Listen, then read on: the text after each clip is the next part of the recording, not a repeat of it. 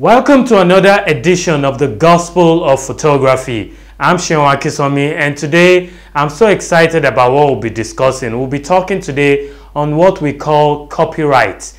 And basically that means, in simple words, who owns the right to a picture. Many photographers have gotten into many issues with clients or fellow colleagues as to this particular question. It basically means whenever I take the picture of someone, someplace, who owns the right?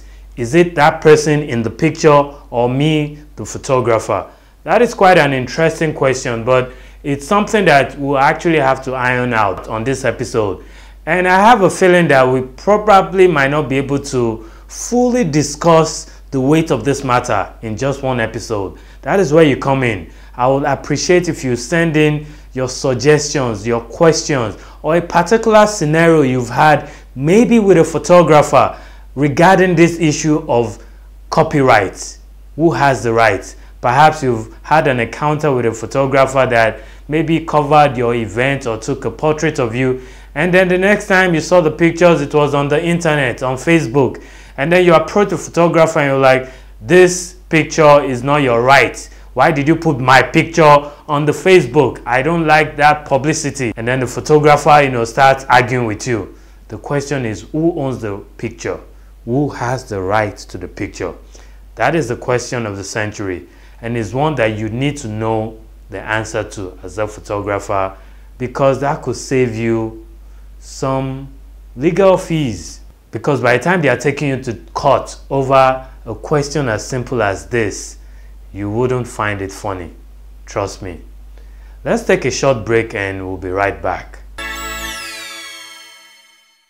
My name is Femi Adewi. Keep watching the Gospel of Photography. Welcome back. We're still on the issue of this copyright law. The question still remains who owns the right to a picture? Is it the photographer or the photography? Or the client, you know, so to say. And that is an interesting question. We took this same question and went out there on the road and asked a couple of people, people that are both professionals in the industry and people that represent the average client. Interestingly, we got quite some interesting response. Yeah, everybody who have contributed to the making of a picture should have a copyright of the picture. When I say everybody, I mean the photographer, the client who pay for the job, the model, the makeup artist, costumier, hairstylist, and so on. I think both the photographer and client has rights to the pictures because uh, once a picture is taken for something, a specific use, a magazine cover or something, fine, uh, the photographer will actually use it for the work it's needed for. But after the whole thing, I just think you should also be able to let out the pictures to the model or whoever has a hand in the picture. Could be a makeup artist or any other person. For me, I think it's everybody that contributed something to making that picture happen that has the right to it. If a client says, I can't post a picture online, it boils down to the fact that what kind of agreement do I have with that client in the first place? If she signed to me at the beginning of the job for me to use the pictures for my advert, then probably I have to re refer her to her contract. But if we don't have a signed agreement, I don't have any right to post it online if she doesn't want it there. Well, technically, I think just like any other artwork, uh, a photograph is owned by the creator of the photograph, who is the photographer. And um, when a client pays for photograph for, for a photograph to be taken, is paying for a service and what the photographer is rendering is, is the service. Now the image that is created is owned by the photographer. Technically,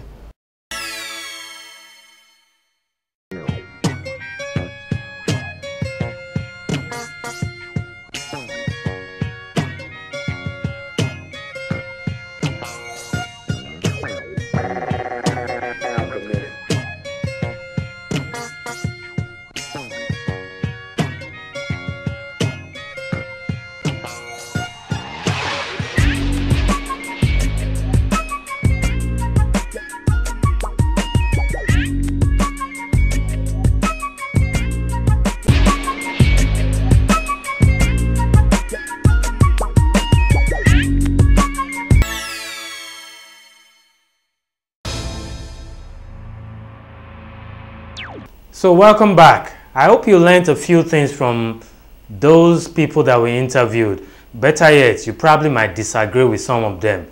Do us a favor, send us an email at gospelofphotography at elophotos.com and let us know what you think. Or perhaps you've had a personal experience, maybe with a photographer, or you're a photographer, you've had an experience with a client. Let us know and perhaps we could, you know, talk a little bit more on that. But at this junction, we perhaps need to ask, what is copyright? You see, for authors, book publishers, music producers and composers, photographers, and basically anybody in the creative industry, copyright produces the assurance that they can share their work with the public without fear of unauthorized use, without fear of being sued or being taken to the court. It basically covers book publishing, photography, sound recording, film production, and gives creators the right to control the distribution of their work. Looking at that definition, therefore, perhaps you will realize how a lot of us photographers are actually selling our pension. Many times when you are given the right or the privilege to take a picture, look beyond just the ability to just snap or press the shutter button. Ask yourself this artistic work that you are creating, would there be an issue if you were to post this picture online? Perhaps an issue with that client in question? If the answer is yes, these are things you need to resolve because you could be playing with your pension. And when I say pension, you are talking 20, 30, 40 years down the line. Different countries have different copyright laws. For example, in Nigeria, the copyright law that we have is actually the one that was enacted into law in 2004. And this is where I would actually appreciate if you actually go online and read about the law. It's actually similarly comprehensive, but it basically gives the creator the right to his work. That means, regardless of who owns the equipment, if you give me your camera and I take a picture, the fact that I'm the one that took that picture, I've basically created something artistic. Okay, and that gives me the right to that particular picture up to over 50 or 60 years after I'm dead. Yes, you heard me right. That means if I take a picture right now and then I die maybe a few years time, up to 50 to 70 years after I'm dead, I still have the rights to the picture for the very fact that I was the one that snapped it. Now, this might not rest well with some people, but either way, you need to make this clear to every client, and that's as a photographer, as a professional photographer. Most clients don't know this. So you need to make this clear to every single client so that you don't end up burning your pension. That being said, there are some jobs that you actually end up getting that you perhaps will need to read the fine line. I've had clients send me briefs in which they were mentioning all the exclusive copyrights belong to us. And that's where I knew that wow, wow, wow, wow, something is up here if a client tells me they would eventually own all the copyrights, then I need to be conscious of the price that I'm charging. Basically, they are telling me that this picture that you are taking, Mr. Seun, you have no right to share it on any of your platforms forever and ever.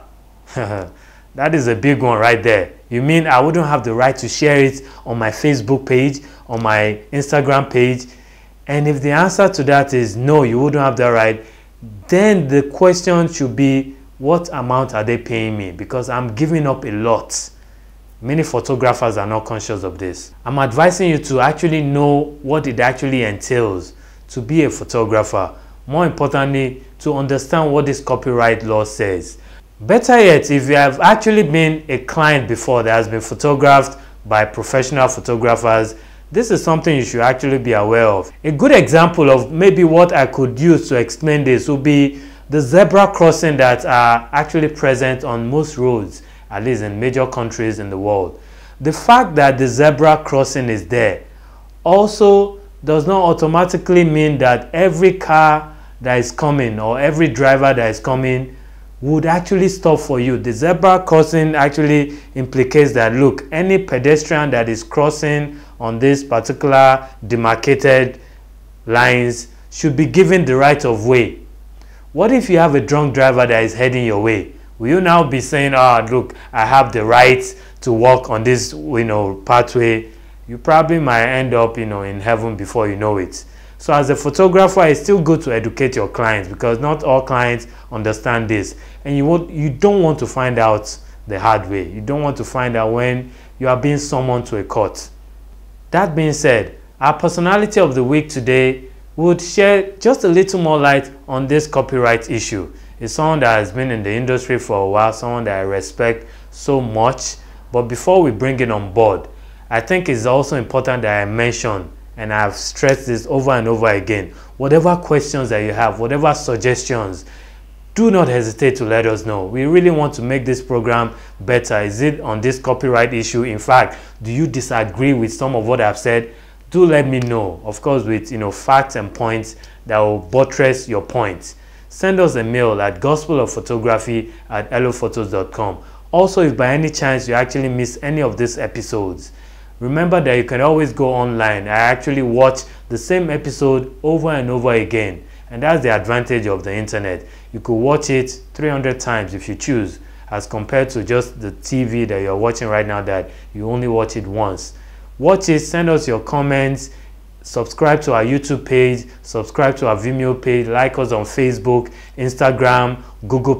We're on all the social media platforms just to try to reach as many people as we can. We're trying to preach the gospel of photography to the ends of the earth. Okay, so at this junction, let's bring in our personality of the week and let's learn a few tips on how to be better at this game called photography. Stay tuned.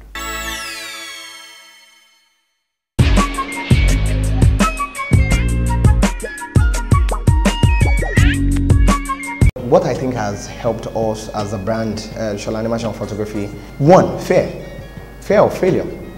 We don't want to fail. We, we see a lot of photographers out there, they're doing amazingly well. There are some photographers that I know around my, my street. There are about five, six photographers around my street and most people don't even know their name and they're super successful, you understand? Um, I'm afraid of failure. So because I'm afraid of failure, I want to I want to work more. I sleep around 1 a.m. and wake up around 4 a.m. And there are sometimes uh, when I'm so tired in the office, I'll just put one or two chairs together and sleep because I spend a lot of time researching on how we can do better, how we can better serve our clients, what we're doing wrong, ask for feedback. So the first thing I'll say that has been helping us is fear of failure. We do not want to fail. In the process of not wanting to fail, we fail severally and by failing severally we know what to improve on so that next time we will not do that. Then um, use of technology. I would say use of technology has helped us as well. Um, there's there's not a better time to to succeed than now. You understand? You have everything at your fingertips to succeed when it comes to technology. From your phone you can share news about what you're doing and people that are interested in what you're doing will come. Share your story if they believe your story is interesting. So, um, fear of failure, use of technology, and recommendations. Recommendations as well. Then, research has also helped us as well. So, those are the things that I believe has helped our brand grow. My own opinion, um, I believe the the artist is the is the sole owner of the picture the copyright belongs to the artist. Uh, there was a situation I was in in a particular, um, during a particular meeting with a client, and he told me we've done the negotiations, and he told me that, uh, by the way, I don't want to see our pictures flying all, all around social media. I'm okay with that. Then the next thing he said, triggered, triggered something in me. He said, because the pictures you take are copyright. I just said, excuse me, sir. He said, yes. I said, whatever picture I take for you, they are my copyrights. They are not your copyright. He said, what? I said, yes, because the work of an artist is the copyright of that artist. What you're paying for is the license. You understand? So just in case you are a lot of, uh, because we're excited about photography, we just want to create images and share it on social media. They, there, there are some clients that will make you sign what is called a non-disclosure uh, agreement. You can't post their images on social media. Good. If you have a consensus, if they've paid for that, you understand, some will willingly want you to to share their images on social media, but when it comes to copyright, who owns the camera? Let's even imagine that the camera belongs to them. Immediately you take the picture, you understand? It is your copyright. And if you're not sure about what copyright is in photography, just go and research about it. It will save you a lot of headache because your clients might not know because they are paying you. They believe uh, I own whatever you create.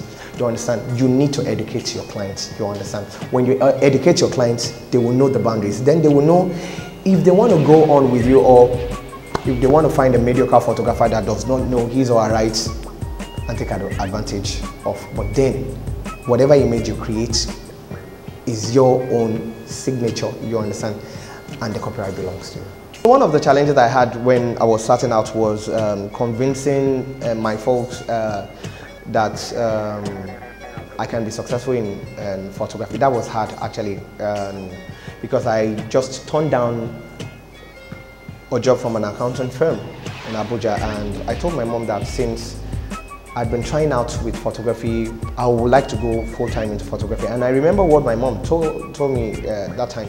She said, that photography you want to do, good, if you believe in it, but why don't you take the job and add photography to it? And I told her that diverted our attention causes multiplied tension. I'd rather face one and she was like, what about if it doesn't work? Well, if it doesn't, how it will work. I've burnt my bridge to white collar job, so it has to work. You know what, mom?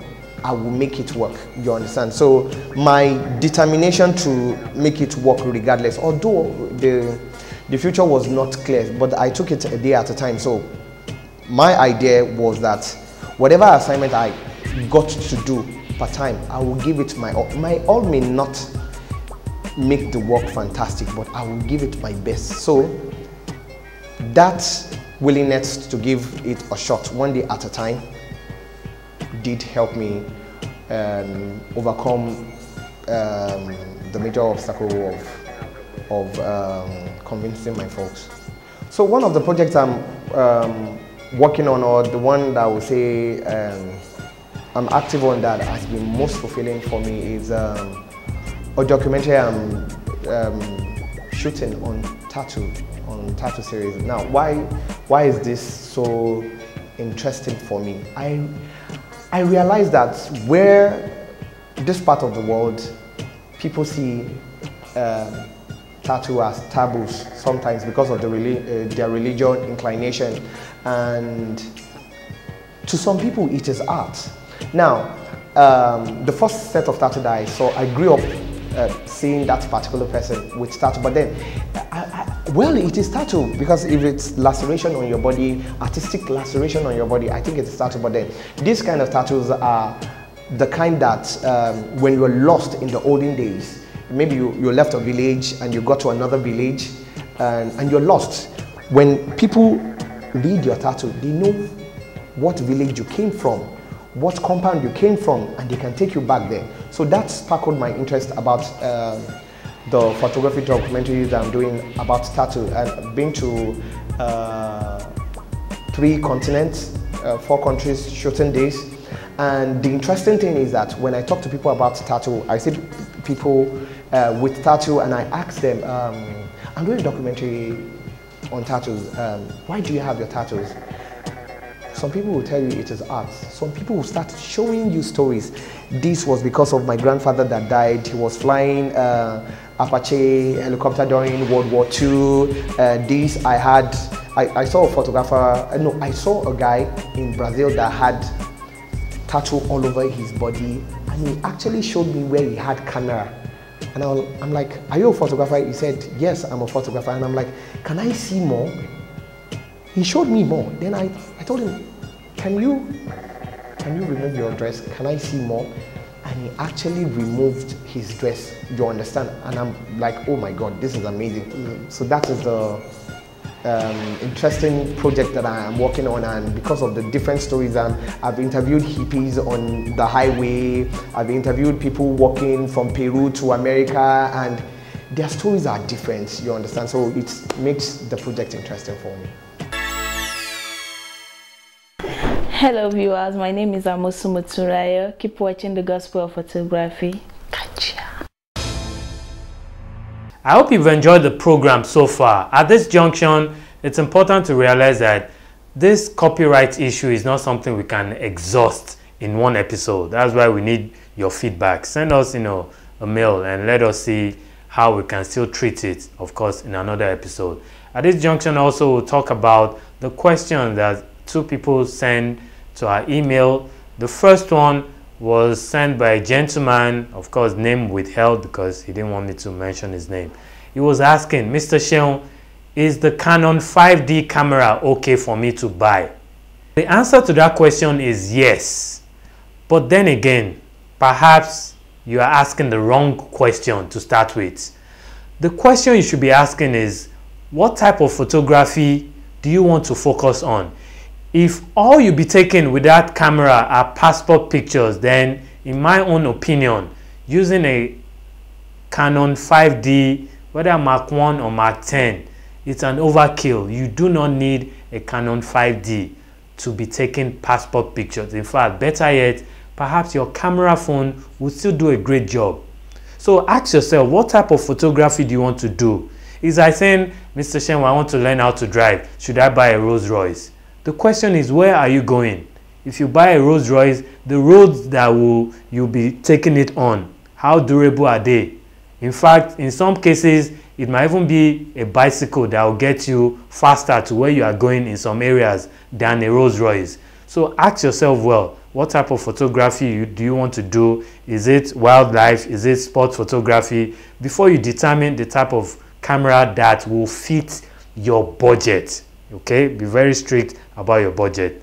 So the next question was sent by actually a lady and she was asking mr Seun is it okay to get a loan to start my photography business? And my answer to that question is yes it's okay to get a loan to start your photography business as long as the loan is not from a bank. Please please please do not get a loan from a bank to start a photography business. Now, this might not seem very palatable to many bankers that might be hearing me. The truth is, most people starting out in the photography industry are actually not good business managers. So imagine you starting out with this $10,000 loan from a bank and you are not good with managing finances regardless of what you tell me, most of us are not good. In fact, I'm still working on being a better financial manager. I was recently looking at my books and I saw the importance of actually hiring an accountant to audit our books. Okay, so it's okay to get a loan, but not from a bank. I'd rather you get a loan from whether a family friend or a relative that will not charge you any interest and somebody that will understand that look okay if he doesn't pay back in six months or one month time they wouldn't come chasing you with the police or with court summons to take you to court. It's really crucial. I'm begging you please don't get a bank loan for this. Except of course your dad or mom is the owner of the bank by which case feel free to get as much loan as you want okay? So that's that for today's question and answers. If you have any interesting questions that has been you know bothering you relating to photography of course don't write you know asking me how do i marry or propose to my lady? That is not a photography related question.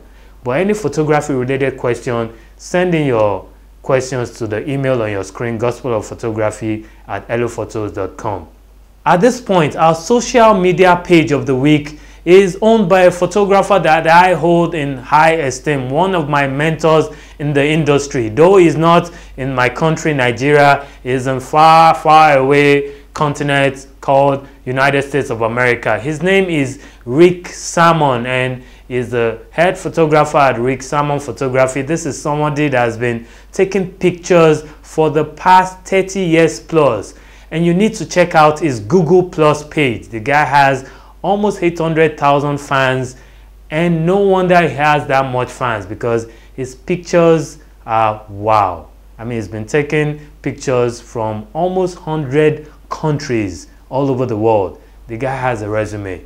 Check out his Google Plus page and hopefully you will be inspired. You realize we've not been able to show any photo of the week yet. That's because you guys have not been sending your pictures. It's okay, don't be afraid. I mean, we wouldn't shout or scold or discipline you even if your pictures are terrible. Send it to us. In fact, one advantage you get is also some positive criticism. Some people will probably analyze your picture and probably tell you how to do better next time. Whatever pictures that we've considered to be the best, we'll of course show them on our subsequent episode as a photo of the week. Okay? Please send those pictures. You'd be surprised somebody else might actually admire the pictures that you think were not so great. Send up the pictures to the email address on your screen and we'll get back to you. Okay? At this junction, we've come to the end of another exciting episode of the Gospel of Photography. We started out talking about the copyright laws that we talked and interviewed a few photographers and a few clients, got their opinions, and we also had an interesting personality of the week, plus the social media page of the week. A lot packed inside this short 30 minutes. Okay, in case you missed any part of it, remember you could go to our platform online, whether Facebook, YouTube, Vimeo, and view the whole thing all over again. I'm still Seun Akisanmi and I'm still your host. Whatever you do, make sure you stay tuned to this channel every Tuesdays from 12 o'clock to 12.30 as we bring you another exciting episode of the Gospel of Photography. Keep taking those pictures.